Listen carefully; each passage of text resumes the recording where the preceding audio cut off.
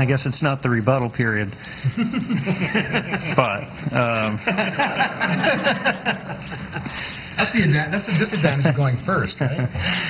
uh, no, if I if I were to follow the money, um, deep throat, I would uh, actually look at the GPL as first and foremost the single best license out there for uh, on a range of factors.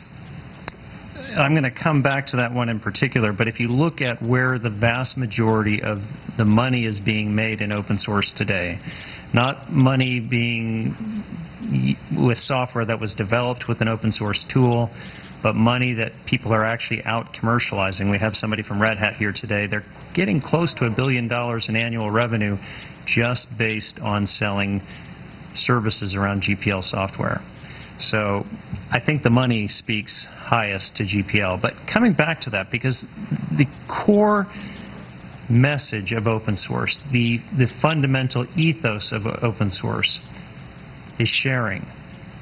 It's not how much money I can make from, from somebody else's ignorance of a license. It's not anything like that. It's this idea of sharing.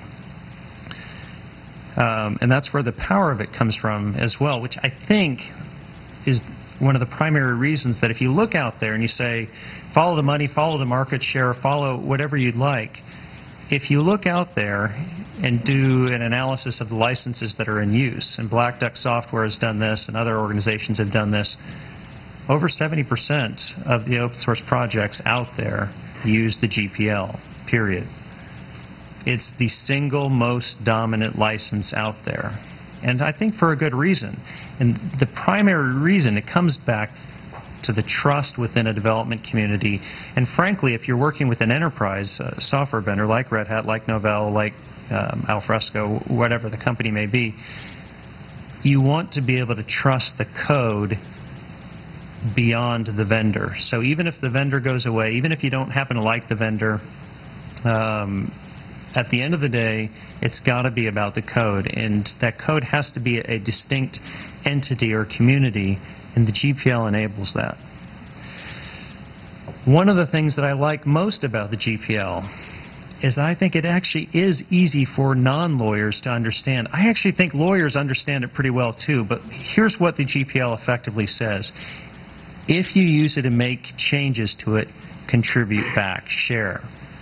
Lawyers hear that and they say, but what do you mean share? We don't really like to think of our clients having to share things. No, it's very simple what the GPL means. If you give value, give value back. Lawyers don't like that. They understand it, they don't like it. Developers understand it. Granted, there may be, you know, there are issues around the edges as to what you know, what do I, is this a dynamic linking? Do I have to, do I have to contribute back derivative work in this instance? But if you look at the market share numbers, 70% plus, most developers at least think they have a pretty good idea of what it means, and there hasn't been any substantive litigation around the GPL yet, or frankly, for that matter, any any open source licensing, uh, which I think is at the ultimately people really do understand what it means. Um, they don't always like it, but they do understand it three basic freedoms in any open source license, whether it's the EPL, BSD slash Apache, or, or GPL. Freedom to view the source code, freedom to modify that source code, and freedom to distrib- distribute the, the source code. Of those three freedoms, I think each do the first two remarkably well. I think it's on the third, this redistribution, that the GPL really shines, and it's where the implicit trust comes in the GPL license.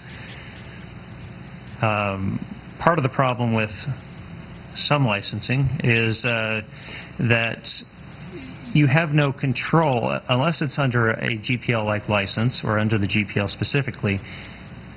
Once you license that code, anybody can take it, um, hijack the code, put it into a proprietary product. And for a lot of developers, they don't want that. They want to be able to know that the code that I've written will always remain free. I didn't write it so that it could end up in IBM's, um, you know, WebSphere or whatever. I wrote it so that it could be an open source project that anybody has the opportunity to view and modify and create their own derivative works of forever and ever. That's the fundamental freedom of the GPL. Um, And if you look at, it's not just, uh, for, incidentally, just as an aside, for end users, those who are, if, for those who are interested in using open source, but not necessarily aren't in the business of redistributing software, then at the end of the, at the end of the day, all of these licenses are functionally equivalent. We're all basically BSD um, when it comes to people like an enterprise like CBC, if they wanted to use an open source uh, software package and that isn't planning on redistributing it as a, as a vendor or in some way, then it doesn't matter because anybody has the ability to view and modify source code. It's only at that point of redistribution that the open source license kicks in.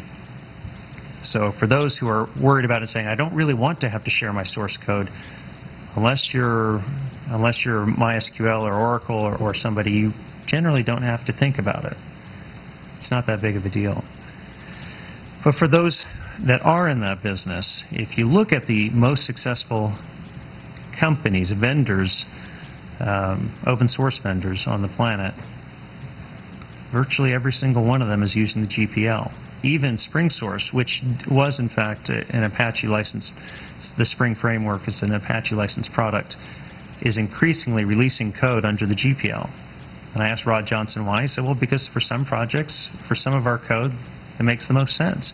And a lot of it has to do with what you're trying to achieve. If you're trying to achieve a vibrant developer community that is founded on this trust-based network of giving back, it's hard to beat the GPL. And again, the 70% plus numbers testify to that.